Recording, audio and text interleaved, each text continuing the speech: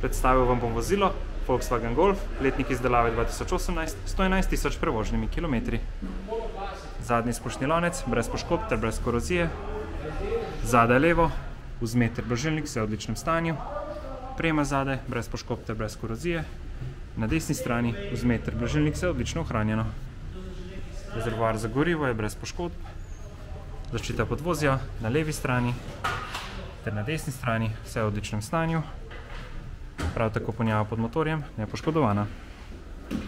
Spredaj levo, roka, končniki, manšete ter razmetenje, vse v odličnem stanju.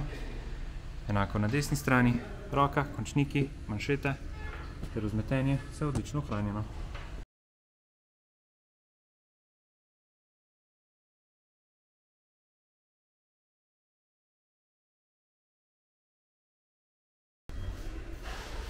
Platišče spredaj levo, brez poškodb in brez prask. Pnevmatika letnik 2018, s sedmimi milimetri profila.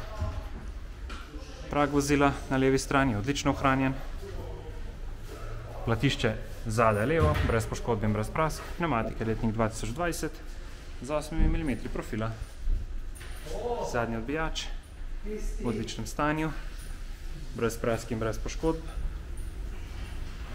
Platišče zadaj desno, brez poškodb in brez prask. Pnevmatika letnik 2018, s sedmimi milimetri profila. Prag vozila na desni strani odlično ohranjen. Platišče spredaj desno, brez poškodb in brez prask. Pnevmatika letnik 2018, s sedmimi milimetri profila.